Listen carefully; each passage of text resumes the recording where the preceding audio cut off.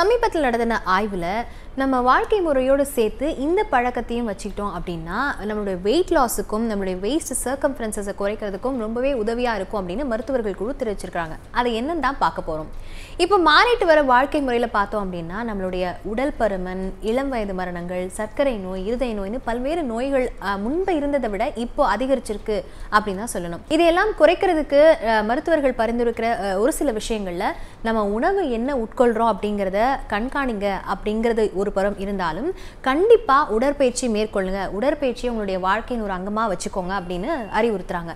அந்த வகையில் moderate to vigorous workouts அதாவது மாடரேட் ஒர்க் அவுட் அப்படின்னு சொன்னோம்னா வாக்கிங் ரன்னிங் மாதிரியான உங்களுக்கு அந்த ஒர்க் அவுட்ஸ் பண்ணிட்டு இருக்கும்போதே இடையிட பேச முடியும். ஆனால் பாட முடியாத அளவுக்கு மூச்சு வாங்கும். அந்த மாதிரியான ஒர்க் அவுட்ஸ் தான் மாடரேட் ஒர்க் அவுட்ஸ் அப்படின்னு சொல்லுவாங்க.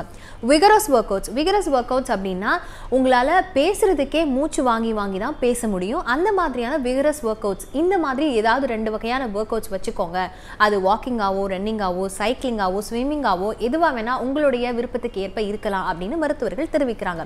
இந்த நிலையில தான் யூரோப்பியன் ஹார்ட் ஜேர்னலை சேர்ந்த மருத்துவர்கள் குழு ஒரு ஆய்வு நடத்தியிருக்கிறாங்க அந்த ஆய்வில் என்ன தெரிய வந்திருக்கு அப்படின்னா இழைப்பாறுதல் அதாவது ஒரு அரை மணி நேரம் உட்கார்ந்துட்டு இளைப்பாறதுக்கு ஈக்குவலாக இருக்குது தூங்கக்கூடிய அந்த ஒரு நேரம் அப்படின்னு சொல்கிறாங்க அதாவது அந்த அரை மணி நேரத்தில் நீங்கள் தூங்கினாலும் கூட உங்களுடைய வெயிட் லாஸுக்கும் உங்களுடைய வேஸ்ட் சர்க்கம்ஃபரன்ஸும் குறைக்கிறதுக்கு ரொம்பவே உதவிகரமாக இருக்குது அந்த அரை மணி நேர தூக்கம் அப்படிங்கிறது தெரிய வந்திருக்கு இந்த ஆய்வில்.